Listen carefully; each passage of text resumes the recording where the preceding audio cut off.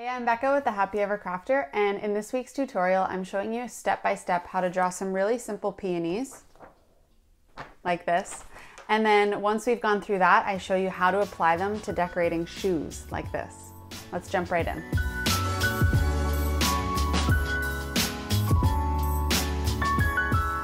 Okay, so first things first, obviously I need to show you how to draw the flower that we're gonna repeat over and over on the shoe.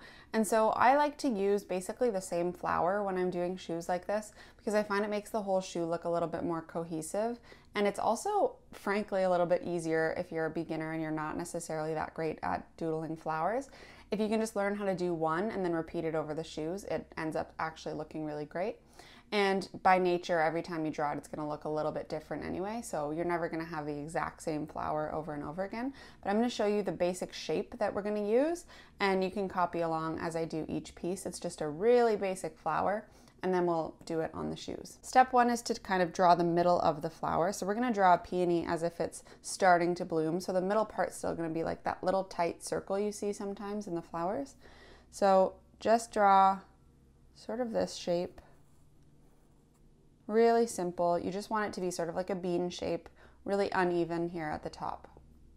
Then you're going to come from the bottom and bring it around. And again, uneven as you come into the middle. And same thing on the other side.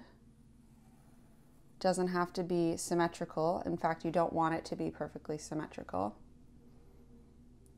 And then you're going to close it off at the top. And it's as if that petal is sort of folding into the middle here. So this is the middle of your flower. You can add a couple more folds in there if you want to. And that's where all the petals are starting to bloom out from. So now we're going to draw this piece at the bottom, which is going to be a petal sort of folding out. Again, doesn't have to be the exact same shape as mine. You just essentially want like a bigger, wider petal down here. And then from the top, you're going to start adding some flatter, sort of more jagged petals with these little notches in them. And again, don't overthink this. The more basic and organic it looks, the better. And you also want to try and remember not to make it perfectly round. I know it's really hard because your brain naturally wants to do that. And then I'm going to take these two last ones and I'm going to add just like a little a fold to them. So now these look like they're folding in towards the, the flower here.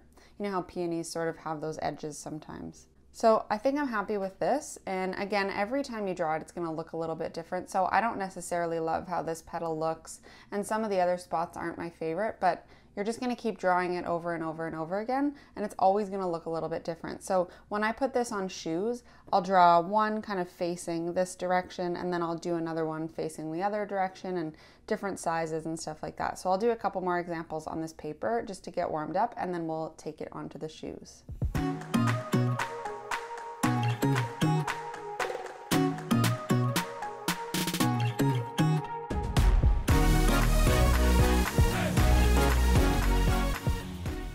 So I just want to encourage you to keep playing with this. You can fill a whole sheet if you want to, and I want you to not overthink it. So as you're working on these, you might draw a petal that you really don't like, and you might be tempted to just scrap the whole thing. But I promise you, as you build up on this and as you add more and more flowers, the more unnatural they look to your eye, the more natural they're going to look as a whole. So just keep going, fill up that page, and get kind of comfortable with the shape of this flower, and then we're going to move on to adding it to shoes.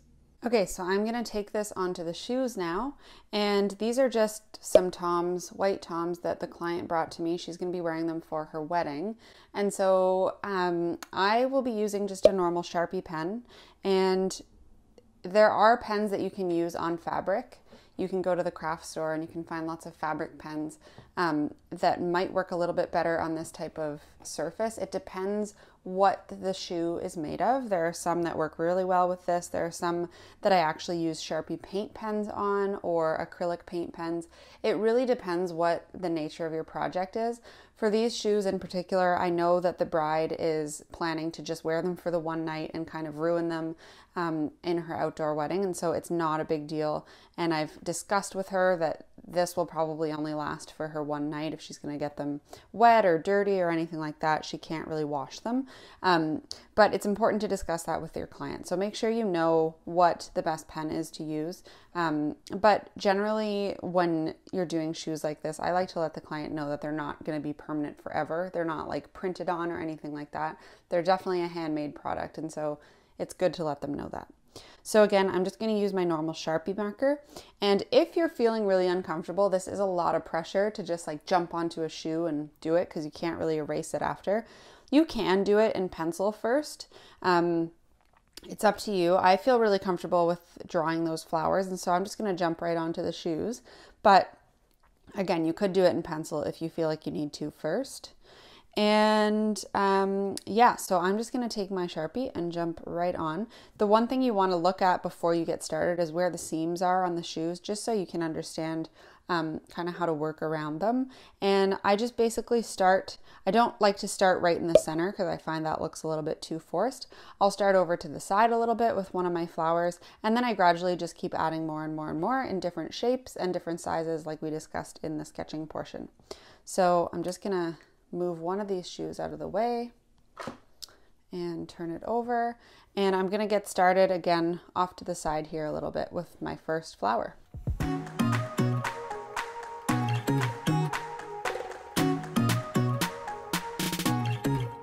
Now, as you see here, I'm starting to get to the seam. And so I just generally go carefully and work around it as if it's not there. You could plan a design where the seam is sort of incorporated or it looks like you're doing it on purpose. It really depends what you're trying to do. So I just work around it and I kind of look at it on different angles and see and make sure that I've filled in the lines.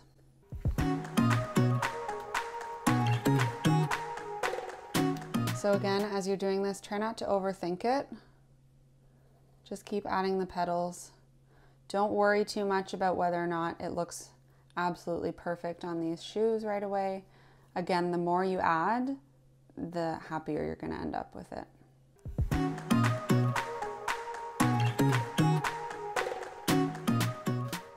All right, so there's my first flower.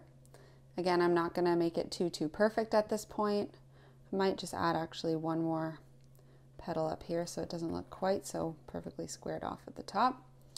And then I'm just gonna keep moving and adding more flowers. So I'm gonna move kind of over to this side and I'm gonna do one facing a different direction.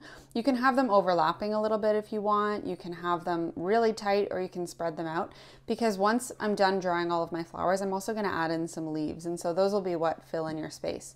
So don't worry too much about having them like really, really packed in tight because I'll show you a way to fill in the spaces afterwards. So I'm just gonna jump in and keep filling up this shoe.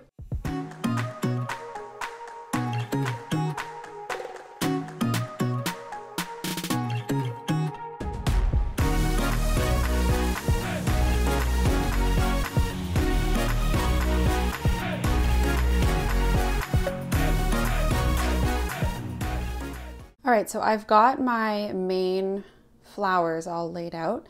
And one thing I like to do on shoes like this is actually just kind of have them start to fade out as they come towards the inside of the shoe. I find like when people have them on their feet and they're touching together, it looks really nice that like this part is a little bit more calm because there's so much going on all in the middle of the shoe. And so I actually just start to like fade it out as it gets in towards the middle. So that's something you're welcome to do as well.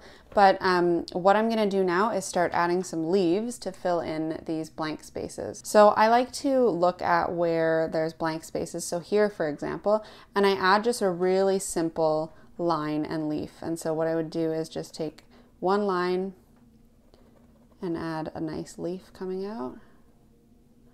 And then from that same line, one going in sort of the other direction. And of course here it's running over the edge, so I stop it right as it comes towards the edge here. And you're just gonna keep doing that kind of everywhere that there are little blanks. And again, you wanna make sure that you're just kind of like letting it naturally run off the edge. You don't wanna have everything perfectly fitting into the shoe or it's gonna look a little bit forced. So I'll just draw some here. And you're just gonna keep adding those all over the shoe.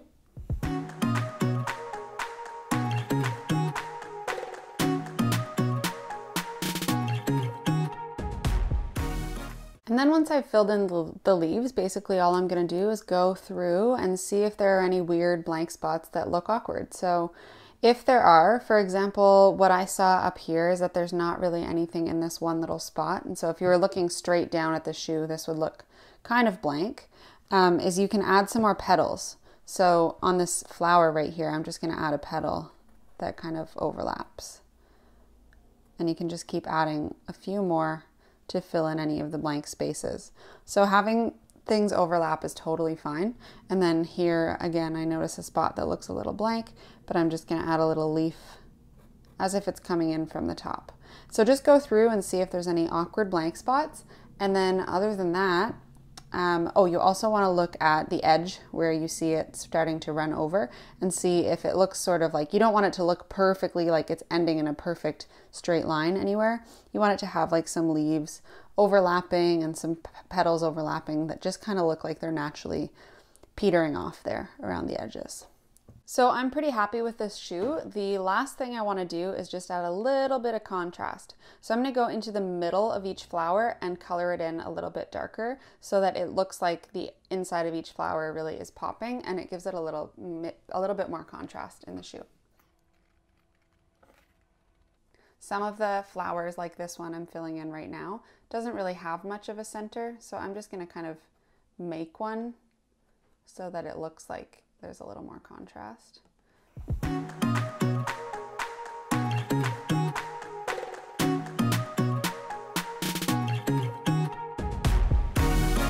All right, so now I think you can see how much more that makes it pop. It makes the flowers sort of stand out from the leaves a little bit more.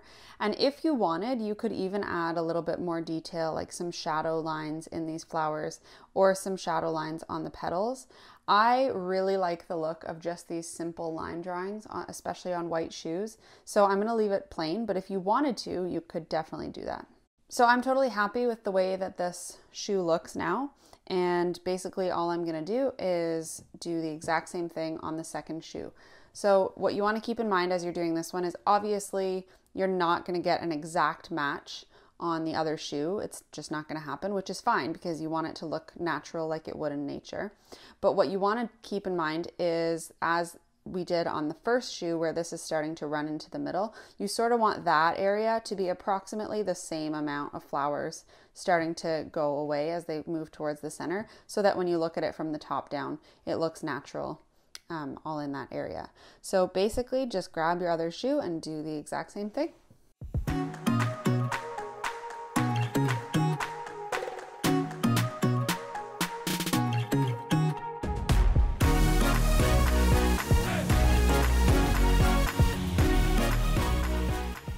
Alrighty, so I've got both shoes done now. I look at them from the top and I try and see if they look about right if you were to be looking down at them. And I like the way they look. So um, if you look at the insides, you can see like I had them end around the same spot and they started to kind of fade out around the same spot on both shoes.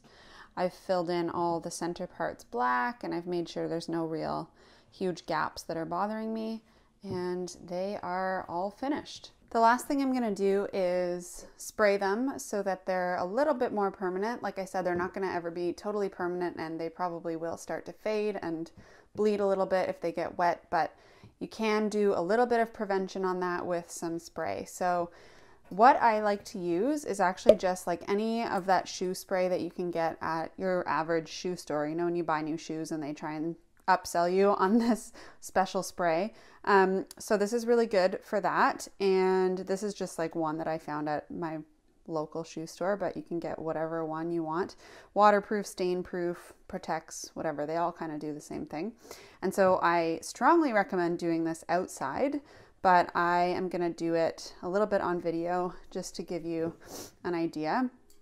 So obviously read the instructions on your can. This one says that everything has to be clean and dry and that you should hold the can about six inches from your shoe. So I'm gonna do that and show you.